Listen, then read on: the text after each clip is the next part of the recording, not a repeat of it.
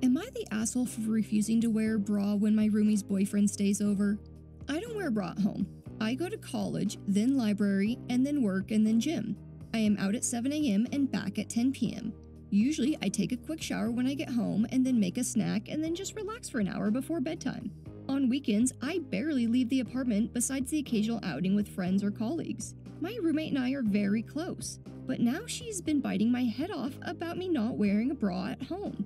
I was confused, and then she explained that it was about her boyfriend.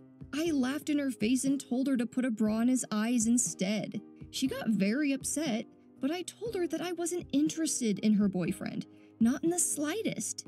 She got offended and said that he wasn't interested in me either. So I said, then why are we arguing? It's only an issue if we're interested in each other.